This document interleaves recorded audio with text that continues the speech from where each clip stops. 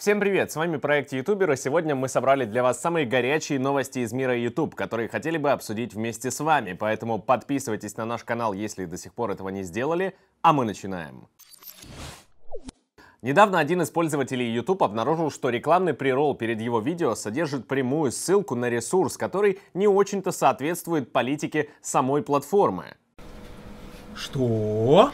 По словам очевидцев, реклама контента для взрослых появлялась перед роликами известных блогеров, включая PewDiePie, Markiplier и Dude Perfect. В объявлениях был изображен скриншот из порнографического фильма, а ссылка вела на вебкам-сервис для взрослых, заблокированный на территории России. Многих пользователей возмутило, что с момента ужесточения требований для монетизации контента YouTube слишком часто допускает такие инциденты. Сразу вспоминается неоднократная история с рекламой наркотических веществ перед воспроизведением роликов у российских пользователей.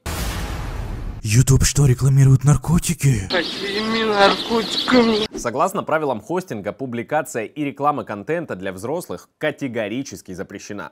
Когда мы видим, что реклама нарушает наши правила, мы немедленно удаляем ее и принимаем соответствующие меры, в том числе блокируя ответственный за это аккаунт. Точно неизвестно, как вся эта реклама прошла сквозь модерацию и попала на глаза пользователям, но, скорее всего, это какая-то проблема уязвимости рекламного сервиса Google. Надеемся, что в будущем это все пофиксят и YouTube будет соответствовать своим же стандартам. Госдума опять атакует интернет. Да ладно, да ладно! Несмотря на то, что мы живем в такое время, когда за репост ВКонтакте могут дать реальный тюремный срок, власти России хотят еще больше усилить контроль над социальными сетями. Ну что ж, дамы и господа, продолжим умиляться. 9 апреля в Госдуме обсудили законопроект о контроле за информацией в соцсетях, и если этот законопроект все-таки примут, то жизнь в интернете станет несладкой. Среди требований официальный офис представительства каждой соцсети на территории России, идентификация пользователей по номеру мобильного телефона, контактный имейл у каждого сервиса для связи с Роскомнадзором. И, поверьте, это самое малое из бед. Все крупные соцсети должны по требованию пользователей в течение суток удалять информацию, нарушающую российские законы, а также следить, чтобы пользователи не публиковали постов, пропагандирующих порнографию, культ насилия и материалов, содержащих нецензурную брань.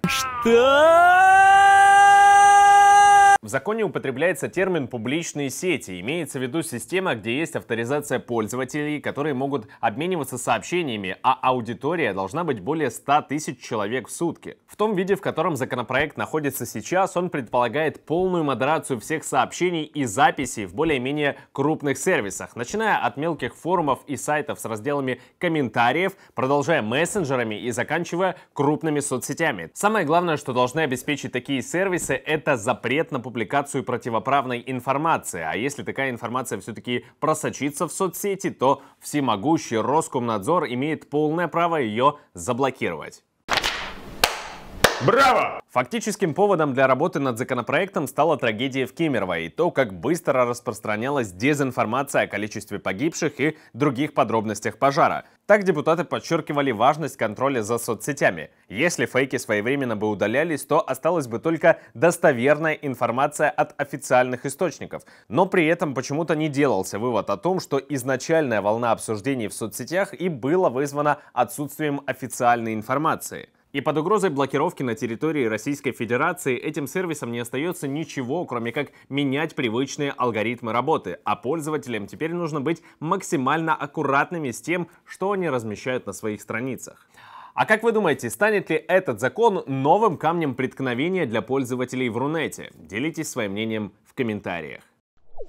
Не секрет, что многие сейчас хотят открыть свое дело и работать на себя. Поэтому я бы хотел сегодня порекомендовать вам канал от молодого предпринимателя Тони Бро. Как открыть собственный барбершоп? Сколько можно заработать на майнинге? Или, может, вам интересно, прибыльно ли открывать свою шаверму? На все эти вопросы у автора канала Антона найдутся ответы, ведь парень сам владеет бизнесом, общается с такими же предпринимателями и делится секретами, которые помогут начать собственное дело, не совершая распространенных ошибок. Так что переходите по ссылке в описании и подписывайтесь на канал Тони Бро. Узнайте все тонкости ведения бизнеса с первых рук.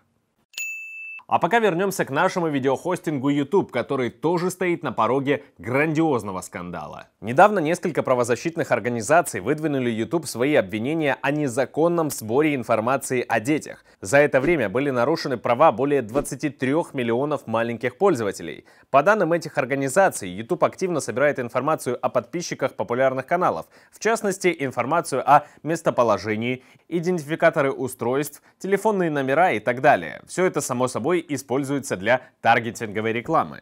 Но тут нужно понимать, что в случае с детьми компания обязана сначала получить разрешение от их родителей. Напомним, что согласно правилам сайта, регистрироваться на нем могут лишь лица старше 13 лет. Однако все мы прекрасно понимаем, что обойти этот момент можно не утруждаясь. Дети, как правило, просто указывают ложную информацию о возрасте при регистрации, а упрощается это все тем, что сервис просто-напросто не предусматривает верификацию. Сообщается, что компания уже около года работает над полностью кураторской версией при приложение YouTube Kids, которое будет ограничено каналами, отобранными реальными модераторами. По мнению сервиса, это должно помочь остановить волну причудливых видеороликов Эльза Гейт, которые стали причиной критики политики хостинга в прошлом году. В поданной жалобе содержится требование оценить каждый случай нарушения в почти 41 тысячу долларов, и если просьба будет удовлетворена, то общая сумма штрафа может достичь сотен миллиардов долларов.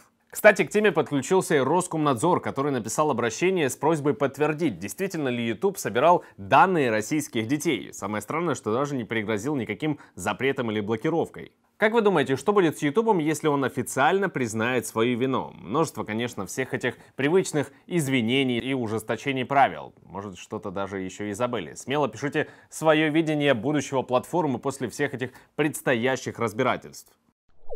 Ну а на этом все. Спасибо, что досмотрели этот ролик до конца. Молодец! Подписывайтесь на наш канал. Здесь вас ждут актуальные новости из мира YouTube и не только. Всем пока!